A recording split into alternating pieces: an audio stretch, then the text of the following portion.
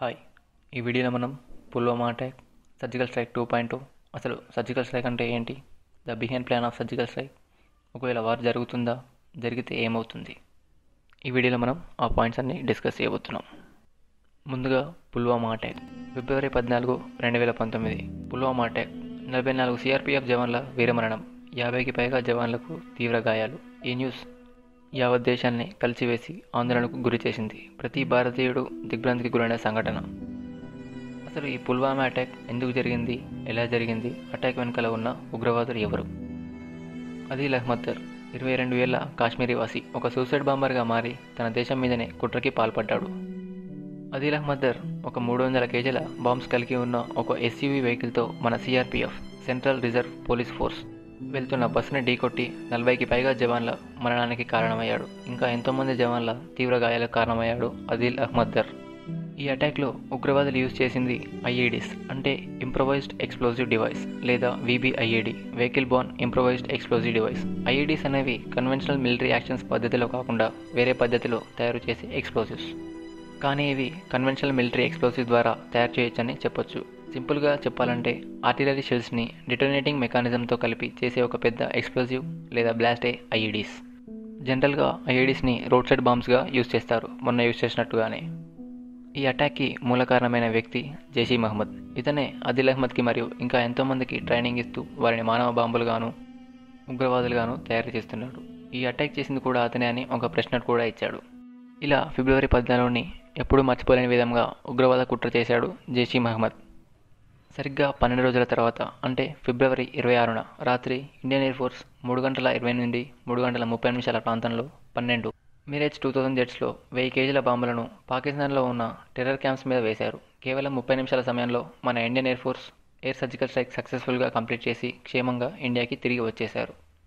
మొత్తం India in air force వేసిన bombs ఆరు. పుల్వామా అటాక్కి కారణమైన జైసీ మహమ్మద్కి సంబంధించిన ఉగ్రవాదుల క్యాంప్స్ని లక్ష్యంగా Indian air force surgical air strike చేసి సుమారుగా మూడు వందల ఉగ్రవాదులను చంపేశారు. అసలు సర్జికల్ స్ట్రైక్ అంటే ఏంటి? సర్జికల్ స్ట్రైక్ అంటే చుట్టుపక్కల ఉన్న అమాయకులకు కానీ కట్టడాలను కానీ ఇంకా ఏ ఇతర వాటికి కానీ నష్టం కలిగించకుండా కేవలం అనుకున్న టార్గెట్ని మాత్రమే నాశనం చేసే ఒక మిలిటరీ అటాక్. ఫిబ్రవరి పద్నాలుగు తర్వాత ప్రతి భారతీయుడికి కామన్గా వచ్చిన సందేహం ఇండియా ఎందుకు అటాక్ చేయట్లేదు అని. అటాక్ చేయడం అనేది చిన్న పనే కానీ తర్వాత వచ్చే పరిణామాలు మనం ఊహించలేము. అవి యుద్ధానికి దారితీసే అవకాశం కూడా లేకపోలేదు. అందుకే మన త్రివిధ దళాలు Indian army Indian air force and Indian navy భవిష్యత్ పరిణామాల దృష్ట్యా తమ తమ దళాలను సిద్ధంగా ఉన్న తర్వాతే తిరిగి అటాక్ చేయాలని కొంత సమయం తీసుకొని ఫిబ్రవరి ఇరవై ఆరున Indian air force air surgical strike చేశారు. ఇప్పుడు ఈ ఎయిర్ సర్జికల్ స్ట్రైక్ వెనుకల జరిగిన వర్క్షాప్ గురించి తెలుసుకుందాం. ఫిబ్రవరి పదిహేను మన Indian air force chief Pulwama attack మీద ప్రతీకార ప్రతిస్పందన కోసం అప్పీల్ చేశారు. గవర్నమెంట్ కూడా అది క్లియర్ చేసింది. ఫిబ్రవరి పదహారు నుంచి పంతొమ్మిది ప్రాంతంలో. మన Indian army and Indian air force కలిసి లైన్ ఆఫ్ కంట్రోల్ మీదుగా ఎయిర్బోన్ సర్వేలెన్స్ కండక్ట్ చేశారు. ఫిబ్రవరి ఇరవై నుండి ఇరవై రెండు మధ్యలో Indian air force and intelligence agencies ఎక్కడ టార్గెట్ చేసి స్ట్రైక్ చేయాలో అని పాసిబుల్ సైట్స్ని ఫిక్స్ చేశారు. ఫిబ్రవరి ఇరవై ఒకటిన నేషనల్ సెక్యూరిటీ అడ్వైజర్ టార్గెట్ ఆప్షన్స్ని ప్రజెంట్ చేశారు. ఫిబ్రవరి ఇరవై రెండున ఇండియన్ ఎయిర్ ఫోర్స్ వాళ్ళ number one squadron tigers and number seven squadron బ్యాటిల్స్ని missions కోసం సిద్ధం చేసి మరియు టూ మిరేజ్ స్క్వాడ్రన్ డెసిగ్నేట్ పన్నెండు జెట్స్ని మిషన్ కోసం సిద్ధం చేశారు. ఫిబ్రవరి ఇరవై నాలుగున ఫిబ్రవరి ఇరవై నాలుగున ఎర్లీ మార్నింగ్ జెట్ మరియు మిడ్ డే రీఫిల్లర్లతో సెంట్రల్ ఇండియాలో ట్రయల్ రన్స్ నిర్వహించారు Indian air force.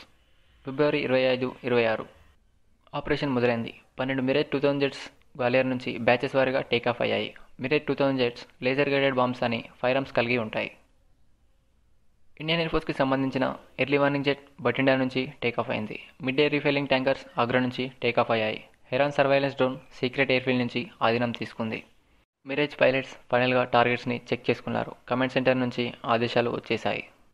Mirage two thousand jets చాలా తక్కువ హైట్లో లైన్ ఆఫ్ కంట్రోల్ మీదుగా ముజాఫరాబాద్ దగ్గరలో ఎగురుతూ లేజర్ పాడ్ ద్వారా టార్గెట్స్ని పాయింట్ చేసి ముందుగానే సిద్ధం చేసుకున్నారు.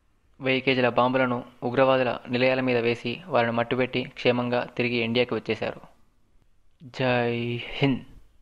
ఇప్పుడు ప్రపంచవ్యాప్తంగా వచ్చిన డౌట్ పాకిస్తాన్ ఇండియా వార్ జరుగుతుందా అని. వార్ జరగకపోవడానికే ఎక్కువగా అవకాశాలు ఉన్నాయి ఎందుకంటే యుద్ధం జరిగితే రెండు దేశాలకు తీరని నష్టం కలుగుతుంది కాబట్టి. అలాగే యుద్ధం అంటూ జరిగితే అది న్యూక్లియర్ వార్గా కూడా మారచ్చు. కనుక ఇరు దేశాలు ఈ సమస్యకి శాంతియుత పరిష్కారమే మేలు అని డిసైడ్ అవ్వచ్చు.